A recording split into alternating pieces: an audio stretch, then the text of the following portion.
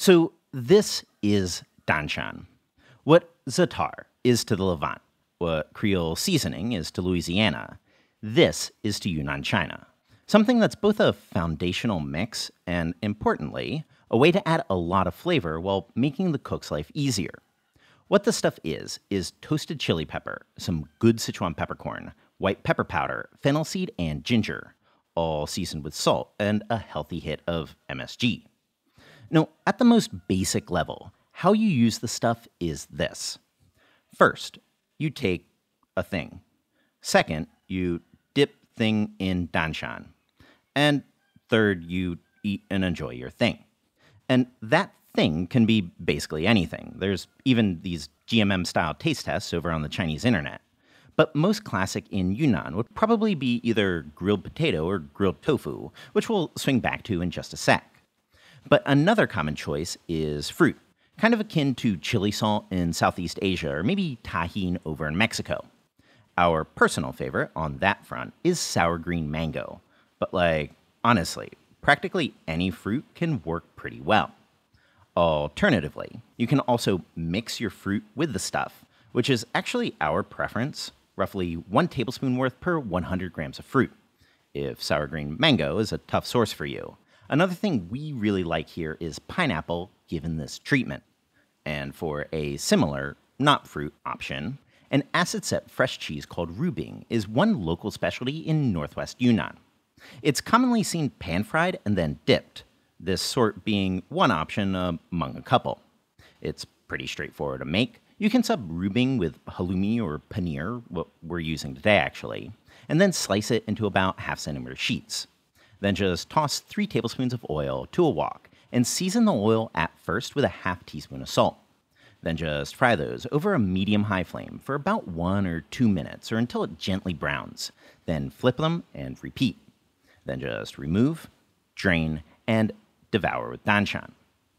But of course, when it comes to a dry dip, we can't really talk danshan without covering the foreshadowed baojiang tofu a crispy on the outside, melty on the inside Yunnan style of tofu from which it's practically inseparable. This tofu variety would be the kind of thing that someone in Yunnan would just purchase at their local market. But for us outside, conveniently, the stuff gets its unique texture, not with some kind of crazy coagulation technique, but via a simple alkaline treatment. Just start from any block of firm tofu, Slice it into about half centimeter sheets, and then place them into a bowl. Then just add in 2 grams of salt, 8 grams of baking soda, all with 400 ml of water, and then let it sit for about 8 hours. Then, after that time, drain out the water, rinse off some of that soda, and then pat dry. To cook them, in Yunnan, grilling is by far the most common route, but you can also get there slightly less conveniently by pan frying in a cast iron. Heat up the pan, touch of oil, about a tablespoon, and fry those over a medium low flame for about 8 minutes each side. Though, word of warning, flipping can get a little awkward in a pan.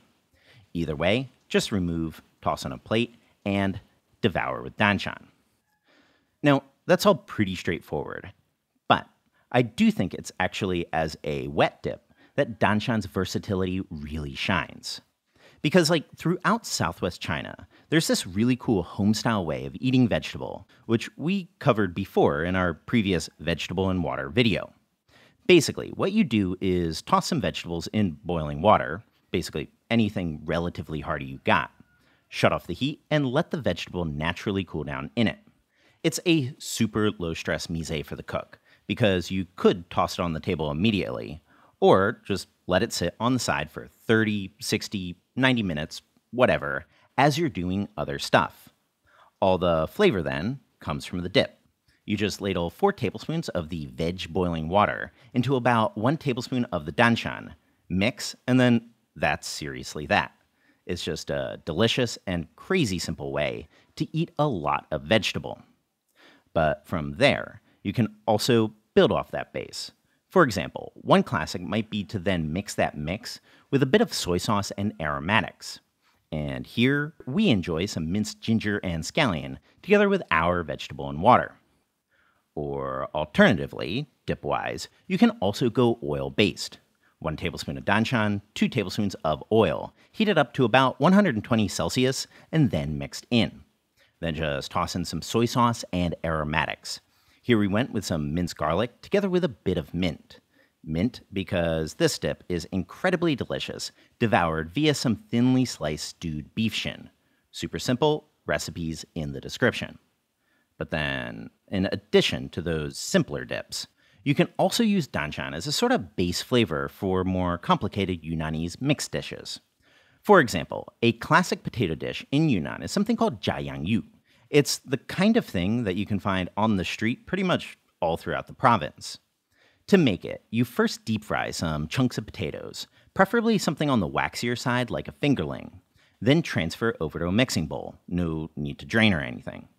Add in 1 tablespoon danshan, 8 teaspoon each salt and MSG, a teaspoon of sesame paste diluted with another teaspoon of sesame oil and a quarter teaspoon Sichuan pepper oil, a clove of minced garlic, and some spicy red chilies. Toss with a teaspoon of toasted sesame seed, together with a healthy handful of cilantro, and eat with a skewer for maximum authenticity bonus points. Or maybe another option might be something like a Dai flavor rice noodle. This was 150 grams of fresh rice noodles, and feel free to swap for something dried and boiled, tossed with pineapple chunks, halved cherry tomato, julienne carrot, sliced onion, cilantro, culantro, garlic, and sliced red chili. This then was then just mixed in with a danshan-based sauce, full components of which are up here on the screen, combined thoroughly, and then served in a big bowl. Or, I don't know, maybe you're feeling a little frisky and want to try the stuff as Western food. I mean, sure, totally. Like yogurt plus danshan plus a touch of salt is way more delicious of an American style dip than it has any right to be. Or maybe you want something a little different for your hot wings. Hot sauce, butter, big handful of danshan, why not? Or for a couple ideas a little more Yunnan inspired, how about some pounded garlic, fermented tofu, rice vinegar, danshan, and Sichuan peppercorn oil, all tossed together with the same wings, together with some cilantro, culantro, and scallion? Or maybe a salad, with some of those same Dai flavors that we used before pineapple, cucumber, paneer, danshan, minced garlic, and chili, the herbaceous usual suspects, seasoned with salt, MSG, and a bit of Sichuan peppercorn oil. Tastes pretty Yunnan, but it wouldn't be out of place at a cookout, I don't think. No, of course, I am aware that this was all pretty rapid fire, so we will give you full detailed written recipes for all of this stuff. But the fundamental point is this this is a seasoning mix that belongs up there with the world's greats. It's super versatile, and it belongs in your cupboard. And luckily, this isn't the type of thing that's super obscure or anything. Besides being quite available online, it's also highly probable that your local Chinese supermarket also carries it.